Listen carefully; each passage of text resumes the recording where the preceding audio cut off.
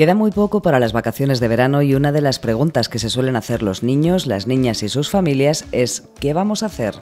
En Sanse cada verano trae la respuesta a la Delegación de Educación e Infancia, que propone una serie de actividades divertidas para los meses de junio y julio en las que pueden participar niños y niñas de hasta 13 años.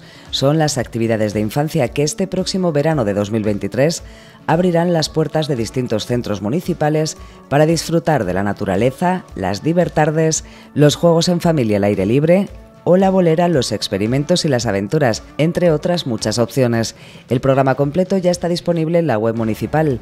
Las preinscripciones para personas empadronadas en Sanse abren del 9 al 16 de mayo y se pueden realizar a través de la web municipal o de forma presencial en el Centro Joven.